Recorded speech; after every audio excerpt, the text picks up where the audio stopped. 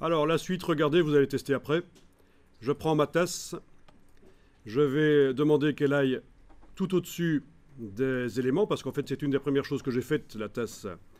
Je voudrais l'envoyer au-dessus dans l'empilement. Donc je peux utiliser une ancienne fonction ici, objet, disposition, premier plan. Ou alors j'y vais par la palette des calques et je déplace l'objet tout au-dessus des autres. Je vais lui mettre un contour blanc. Donc ceci, vous ne faites pas, vous regardez, vous allez avoir le temps de le faire après. Je vais lui mettre un contour blanc à cette tasse, avec une certaine épaisseur. Voilà, et quand je la superpose au texte, ben on voit que ça fait une encoche. D'accord? Ça, ça va creuser le texte à certains endroits. Je peux tenter différentes choses ici, euh, dupliquer éventuellement, éventuellement euh, symétriser objet, transformation, miroir. Ben oui, on l'utilise parfois encore. Hein. Voilà. Ah oui, la 11 devient toute petite en fait là. Ça c'est un problème auquel j'avais pas pensé. Du coup.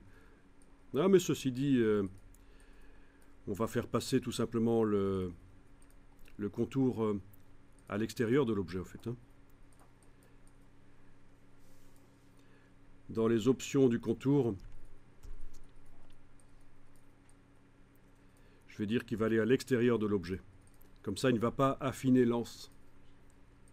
Voilà. Le contour blanc est à l'extérieur.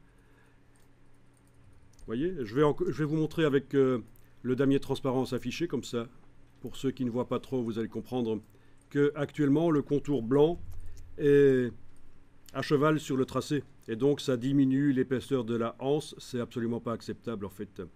Donc en mettant à l'extérieur le contour, dans les options avancées du contour, voilà,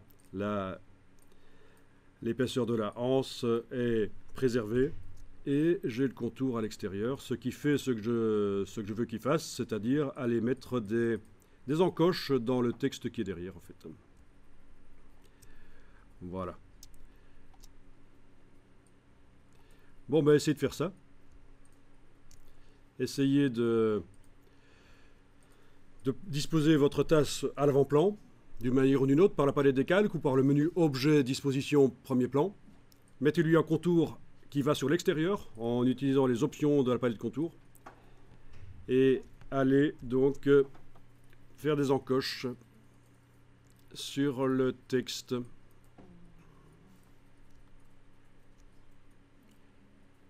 Contour à bord arrondi ici même.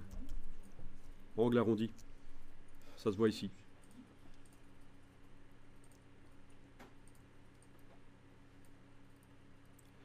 À vous de voir.